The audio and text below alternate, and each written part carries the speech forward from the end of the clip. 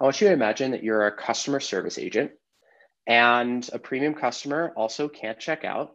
But this time, Mary and John and the other engineering teams, they don't know about the problem. There's no problem going on with fulfillment.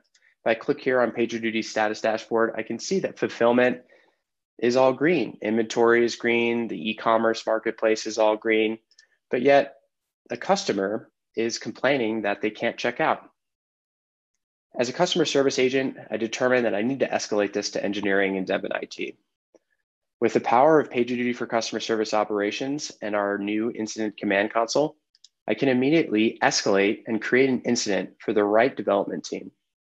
So here I can select escalating this ticket and creating an incident on the checkout service. And select the priority to be P1 and give a little bit more context to engineering.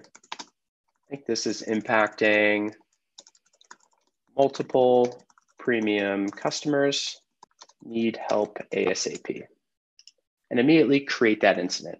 Now what that's gonna do, it's gonna break down the wall between me, development, and IT, and escalate and page the right engineer on the checkout service. As we can see here, John Warfin was notified that there was a problem on checkout and immediately get the right engineering team on it.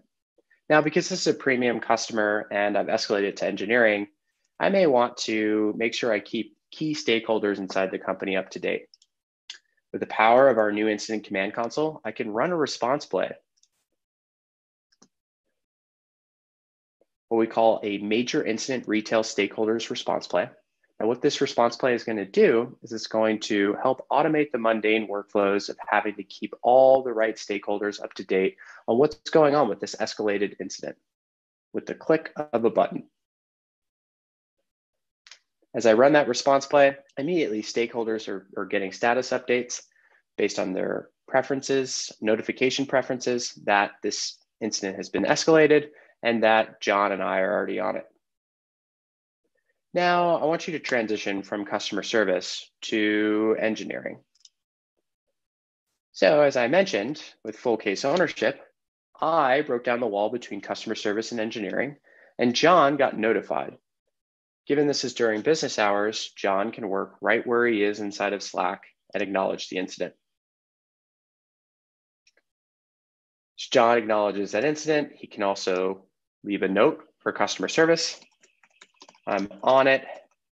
Thanks for flagging. I had no idea checkout was broken. Submit that. That note is going to get synced back into Zendesk. And let's say John is struggling to get to resolution.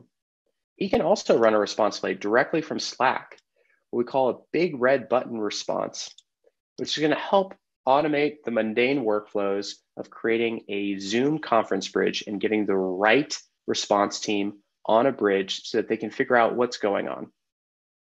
Now, as the team is on that bridge,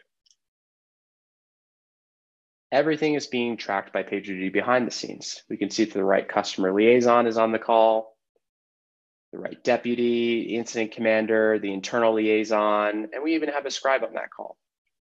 And let's say they work together and get fastest to resolution. John can go ahead and close out that incident. All fixed was due to a bad deploy. Post that as a resolution note to our status dashboard, also keeping customer service and other stakeholders in the loop, and resolve that incident.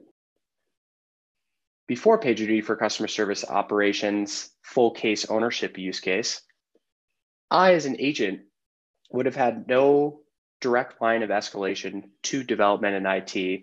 I would have had to manually escalate this ticket through other means. It would have been extremely difficult for me to understand who the right engineer and the, who the right development teams are to escalate this problem. With full case ownership, I was able to break through that wall, get the help that I needed so that we can close out this ticket for the customer. So I can see here, refresh my screen, and I can see that that incident is resolved. All fixed. Sorry about that. And submit my ticket as solved.